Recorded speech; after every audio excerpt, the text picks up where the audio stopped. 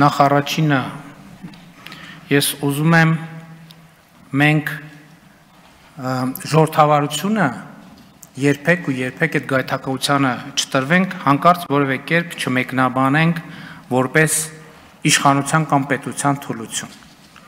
Այսօր ժողովրդավարությունը Հայաստանի թիվ 1 միջազգային բրենդն է, եւ մենք այդ բրենդը պահպանելու ենք, բայց դա չի նշանակում, որ չկան գծեր, որոնց դեպքում ժողովրդավարությունը գործում է իր օրինական, իրավական, ինստիտուցիոնալ մեխանիզմներով ամբողջ թափով եւ խստությամբ։ Սա մենք բոլորս պետք է արձանագրենք։ Ինչ վերաբերվում է բուն գործընթացին, տեսեք, ընդդիմության մեր հարգելի գործընկերները մեզ ծաղրում էին քայլելու համար։ Իրանք պատույտներից հետո որոշեցին քայլել։ Իրենք մեզ ծաղրում էին ուսապարկ կրելու համար։ Քաղաքի խանութներում ուսապարկ ցավոք մնացել է, որովհետև ընդդիմության շարքերը այդքան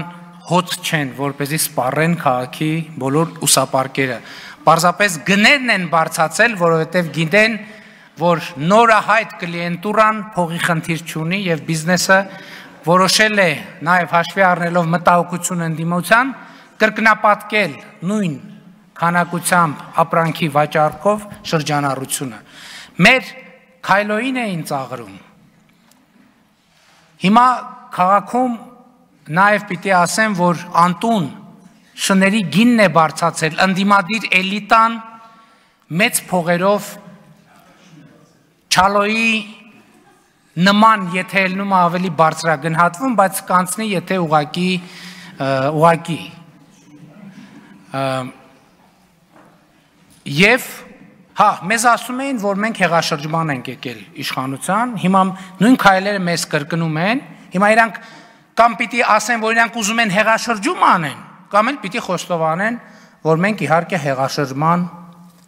հեղաշրջում չեն կարել, ժողովրդավարական process-ով են եկել իշխանության, օրինական, բայց ինչն է կանխավարկածը։ Նրանք նրանց թվում է թե ամեն ինչ, ինչ որ կրկնեն,